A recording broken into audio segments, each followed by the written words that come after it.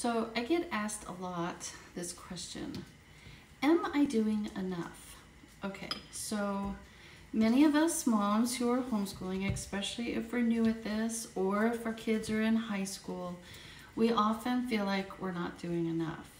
And it's mainly because we're used to, you know, the seven hours a day, the five days a week, and thinking that something must be wrong if we're you know, not spending seven hours a day uh, doing schoolwork. And so my answer to you is very simple. Yes, you are doing enough. So if God has called you to this homeschooling gig um, and you're showing up every day and faithfully doing what God has called you to do, then mamas, you you really are doing enough okay? Now keep in mind there are some days where um, maybe you're not getting in a lot of stuff and really that's okay because keep in mind there's always tomorrow there's always next week and if you're in it for the long haul actually there's always next year too okay? So if you're having one of those really bad days and you really feel like you haven't done anything much less enough then I want you to think about this. On those really bad days, I tell moms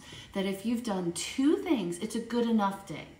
If you've read from the good book, the Bible, and you've read from a good book, any good chapter classic, then mamas, you really are doing enough for today.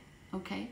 Now, and also on those really bad days, you just go ahead and treat yourself to an adult version of an ice cream soda. All right. Have a great day.